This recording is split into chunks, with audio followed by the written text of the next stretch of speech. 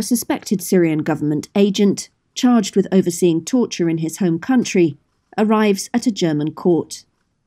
Lawyers believe this is the first trial anywhere in the world for alleged war crimes by Bashar al Assad's government. Named Ayad A, he hid his face under his jacket as he sat in a glass cubicle put up by the court in Koblenz because of the coronavirus outbreak.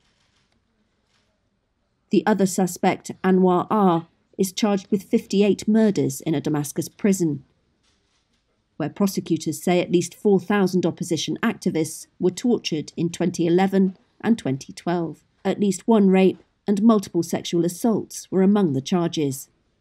German prosecutors say he oversaw interrogations. The former intelligence officer applied for asylum in Germany six years ago after leaving Syria. Ayad A, who arrived in Germany in 2018, is charged with facilitating the torture of at least 30 opposition activists. Observing the trial was prominent Syrian lawyer Anwar al Bunni. Now it's everything changed.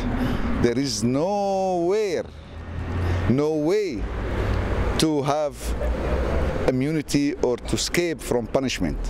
Immunity time is over for all of them, and for sure, all of them feel worried now.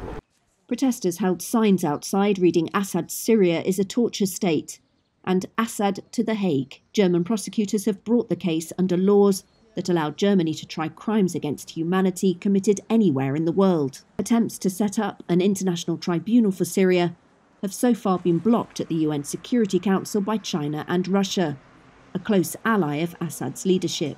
The Syrian government denies it tortures prisoners.